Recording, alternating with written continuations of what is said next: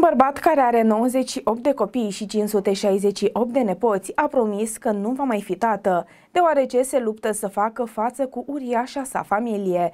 Acesta le impune celor 10 soții să ia pilule contraceptive. Musa, care are de asemenea 568 de nepoți, locuiește într-un complex cu o casă cu 12 dormitoare în Uganda. El spune că deși își poate deosebi copiii și nepoții, nu îi cunoaște pe toți după nume. S-a căsătorit cu prima sa soție, Hanifa, în 1971, la vârsta de 16 ani, după ce a renunțat la școală și a devenit tată pentru prima dată doi ani mai târziu, când aceasta a născut o fică. El a spus nu mai pot tolera să fac copii din cauza resurselor limitate și în acest sens mi-am sfătuit toate soțiile mele aflate la vârsta fertilă să apeleze la planificarea familială. De asemenea, îi descurajez pe cei care doresc să se căsătorească cu mai mult de patru soții să nu facă acest lucru, deoarece lucrurile nu sunt bune. Cu toate acestea, el cer acum ajutorul guvernului spunând că se străduiește să își educe toți copiii, dar în ciuda numărului imens de copii în familia sa, toți se înțeleg bine. Hanifa, prima sa soție, a spus, el are o inimă care ascultă, nu se grăbește niciodată să ia decizii, înainte de a auzi toate părțile. Nu victimizează pe nimeni și ne tratează pe toți în mod egal, relatează observatornews.ro.